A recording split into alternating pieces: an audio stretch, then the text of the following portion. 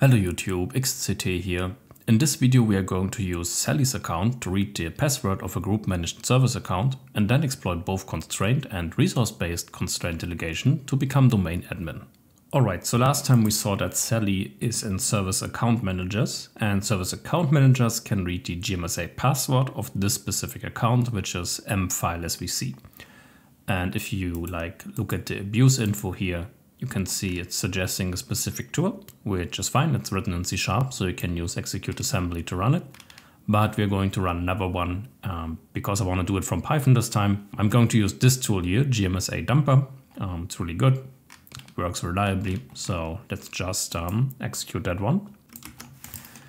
Like this, you just give it the username, the password, the domain controller, and the domain. It will dump all the accounts it has read access to it's telling us um, that we can read m file svc because we are in service account managers and then it's giving us here the NTLM hash of the account.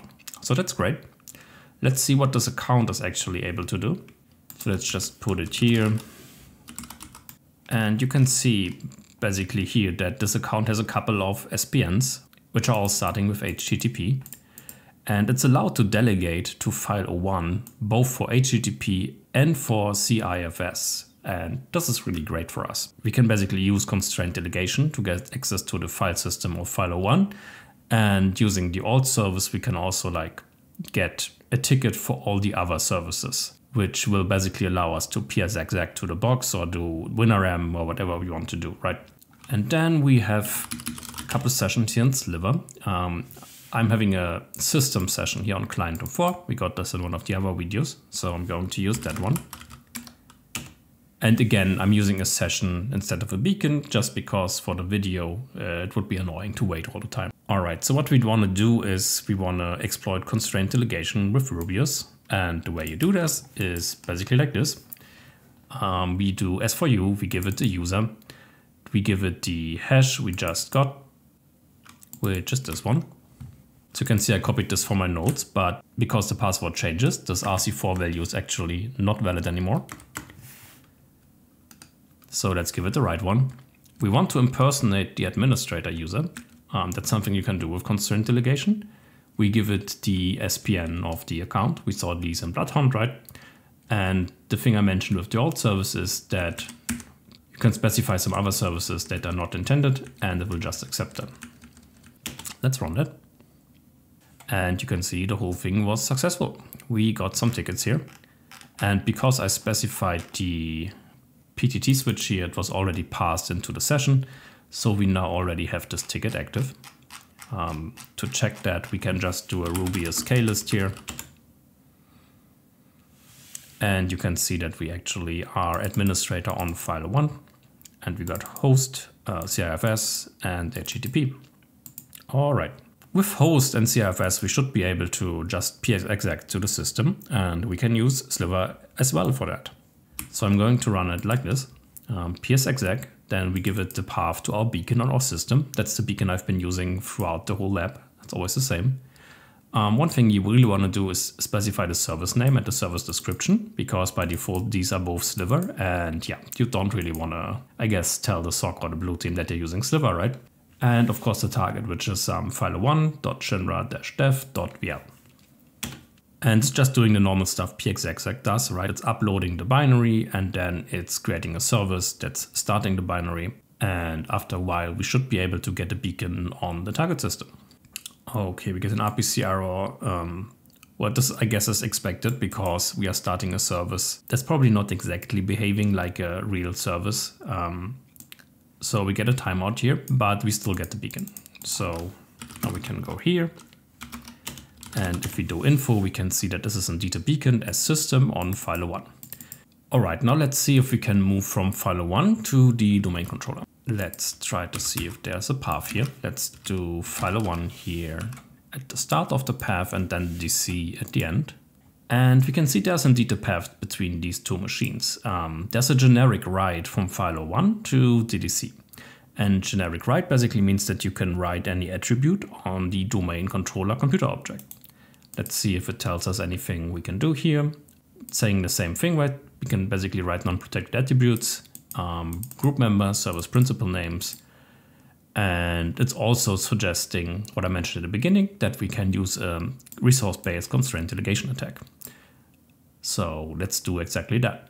So for resource-based constraint delegation, what we are doing is essentially creating a new computer object on the domain. Um, given that we can do it in this domain, uh, we saw like in one of the first videos that the machine quota is set to 10. So just any user on the domain can create 10 computer objects. And what we're going to do is we are setting the allowed to act on behalf of other identity attribute on the target, which is the domain controller, to the security descriptor of the newly created computer object.